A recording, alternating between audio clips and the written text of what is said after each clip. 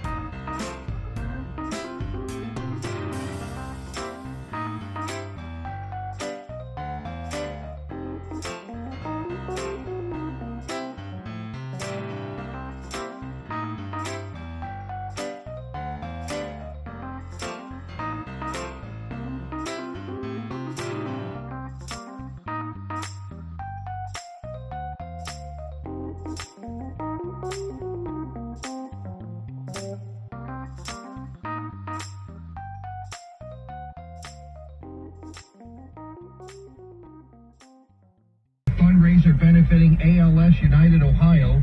It's uh, in honor of the memory of uh, Nancy Edeljohn, who uh, passed away from ALS in 2020.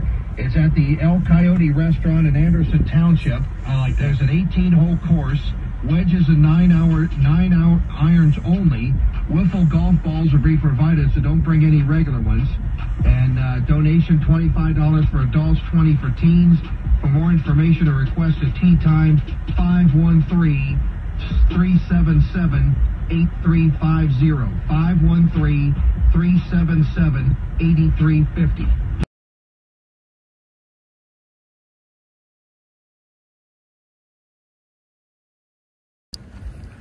Well, this week's been pretty eventful. Um, not a whole lot got done on the building, but uh, struggle bus showed up and I jumped on it. Um, I'll show you what happened. I'll flip this around here. So you'll notice all these uh, timbers here. Nice looking pressure treated lumber. Beautiful. I mean, it looks amazing. The problem with that is these are the beams for the inside the barn. These are the ones that you see that hold up the roof and hold the skeleton together. And I mean, they're very beautiful items. And uh, last week, they got delivered. While I was on site talking with the contractor about different things, and I happened to notice them and I said, what's that for? And they said, those are your beams. Well, our beams are supposed to be made out of white oak. and we think, we don't know, but somewhere between the cut list with the original contractor getting sent out for bids, someone at the lumber supply place switched it to pressure treat. I didn't catch it. Our current contractor didn't catch it. And the order was placed for pressure treated beams. The initial idea was to put the pressure treated in place and then us just wrap it with uh, white oak siding. Didn't go for that. Two things. Uh, the pressure treat wasn't dry, obviously. And what little bit of drying it could get done in there would probably stain the white oak. So, in a mad dash to try to find the quality lumber um, in, in, a place, there ain't nothing but trees. This area is tree poor. Um, they found them. Um, the siding and everything, it's been cut. It's it's ready to go up, I think. It's pretty close to done. Um, but uh, they got them cut. They got the beams cut. They got them drying right now. And the second idea was we'll put the pressure treated up as a frame.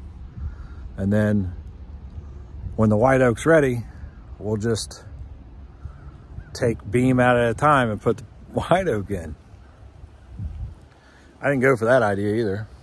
um, and upon some reflection and finding out, you know, different things that we had to look into that with, uh, that's not going to work.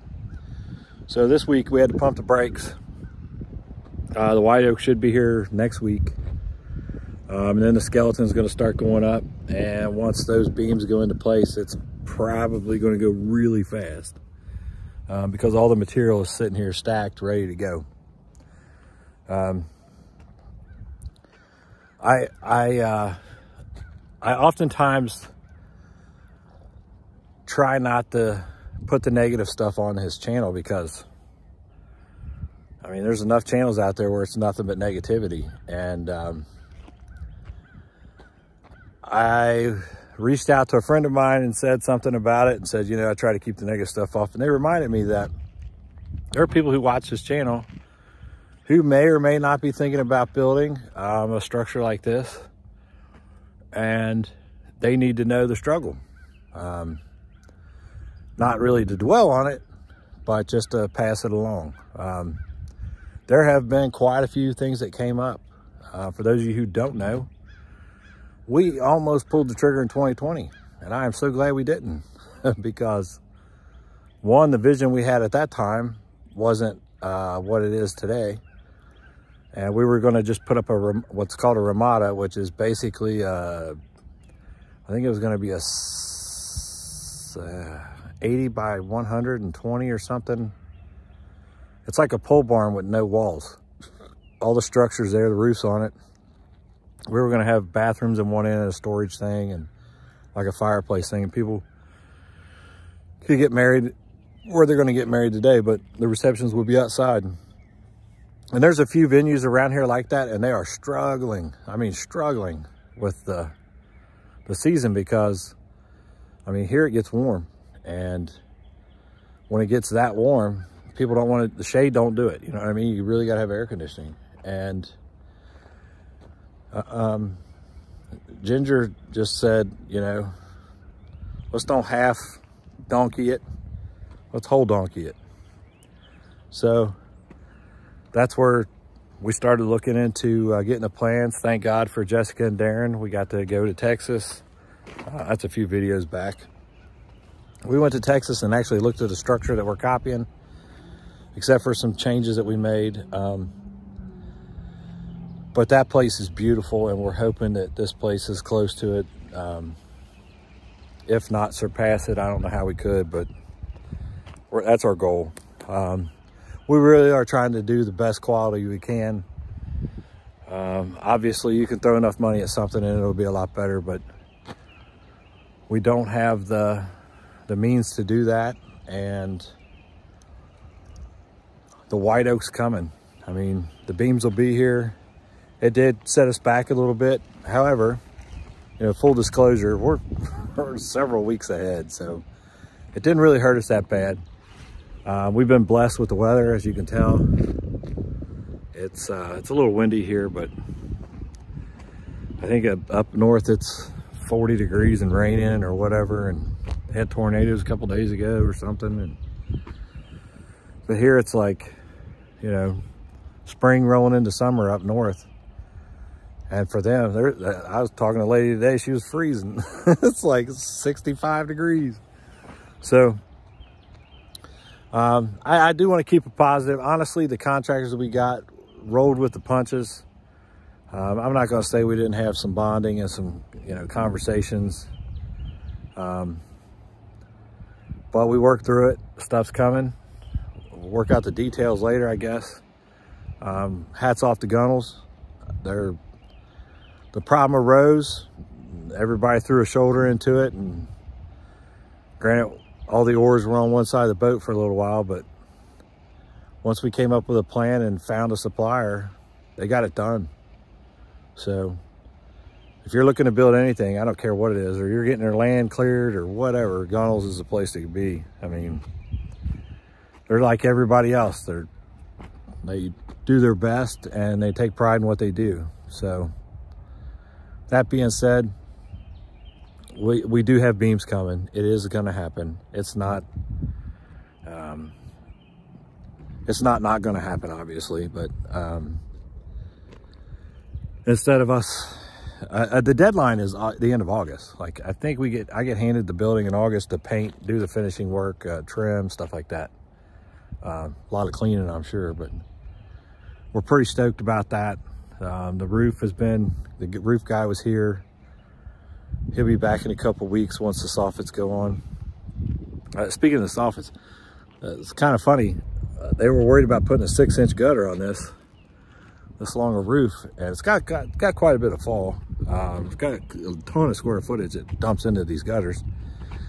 And he said, do you think a six inch gutter would look bad? And I said, what do you mean? He said, uh, he said, I don't want the gutter to stand out, you know, be ridiculously big. And I said, well, I'm pretty sure the soffit's good size. I can't remember if it's either 10 or 12 inches. He's like, I don't think it is. We looked, it's a two by 12. 12 inch oak, um, like fascia board all the way down the side of it. So it, it won't be seen. I mean, you'll see it, but it won't, it won't overtake it. Um, but anyway, uh, the struggle was real a few days ago. Um, some sleep was lost, I'm sure, by all the parties involved. Our builder, he stepped up to the plate. He'll have more people here when the time comes for it to get here, so we could probably get back close to on the, pace we were running before. You know, God willing and the creek don't rise, is a famous saying in my family. Um, but it, it's coming together. It really is. It's beautiful. Um, it's it's beyond what I had ever hoped for or imagined. And with the team we got, uh, general contractor, the builder, all the, all the people involved, um, the things that are said, the things that they do, they just add to it. They, they have the same drive and um, they're starting to get the same vision we've all had. And it's, it's just becoming a thing where, um, like we're all pulling all the, all the, the, uh, oars aren't on the same side of the boat anymore. And I, I honestly, I can't say enough about how happy I am to have the struggle because honestly, when it gets figured out and this all gets done, five years from now, I'm not going to remember this. That's why I'm making this video. I'm not going to remember the headaches and the troubles and the, what I will remember is the people who got married here, the lives that got changed, and the part of our community um, that we were able to, uh, I don't know how you say it, not help, but just be a part of their lives. So this this video don't have a whole lot to show. Um, just wanted to throw that piece on there about how happy I am with everyone who's involved with this. And so very thankful that everybody stepped up. We all worked together and we came up with a plan in just a few days. Um, when the, when the problem first exists, like all the problems we've had over the years, it seems like months to get something done. It literally took hours. So, um, I will end this with uh, with a positive thought of my gratitude and thanks to our general contractor, our builder, Mike Stanley, um, the guy who came up just came up with some trees to to give you some idea of how difficult that was. I would recommend you pick up a phone find somebody who does lumber and say, hey, can I get a 24 foot beam made out of white oak that's ready to go? And, and, just see how that goes for you. So anyway, uh, I, I really appreciate you guys stopping by and checking out our videos. Um, if all the people who watched our videos would like and subscribe, um, that would be huge. It really would. And I am very grateful for everything, especially you as a viewer. So Hope you had a great week and thanks for checking on ours.